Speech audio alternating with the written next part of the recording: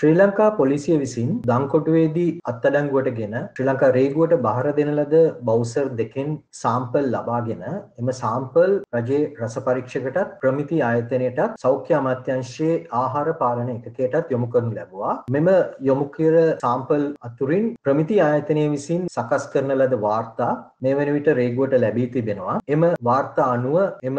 Sample වල alpha ටොක්සින් නැමැති රසායනයේ අඩංගු බව තහවුරු වෙලා තිබෙනවා මේ සම් සම්බන්ධයෙන් රැගුව දිගටම පරීක්ෂණ පවත්වගෙන යන අතර රජයේ රස පරීක්ෂකගේ වාර්තාව සහ ආහාර පාලන ඒකකේ වාර්තාව ලැබුණු පසු ඉදිරි පියවර ගැනීමට බලාපොරොත්තුවෙන් සිටිනවා.